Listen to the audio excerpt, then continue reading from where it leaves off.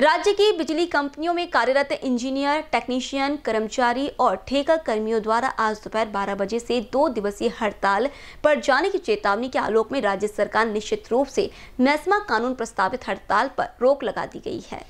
महावितरण और महापरेशन की बिजली कंपनियों के अधिकारी और कर्मचारियों की सेवाएँ आवश्यक सेवाएँ हैं और इन अधिकारी और कर्मचारियों के लिए उन्हें महाराष्ट्र आवश्यक सेवा संरक्षण अधिनियम राज्य सरकार को लागू करके हड़ताल पर जाने से रोका जा रहा है। राज्य के ऊर्जा मंत्री डॉक्टर नितिन राउत पहले ही कड़ा रुख अख्तियार कर चुके हैं कि राज्य में बिजली कंपनियों का किसी भी हाल में निजीकरण नहीं किया जाएगा। इसके अलावा राज्य सरकार की ऊर्जा विभाग ने बिजली क्षेत्र के निजीकरण के केंद्र सरकार के प्रयासों का कड़ा विरोध किया है।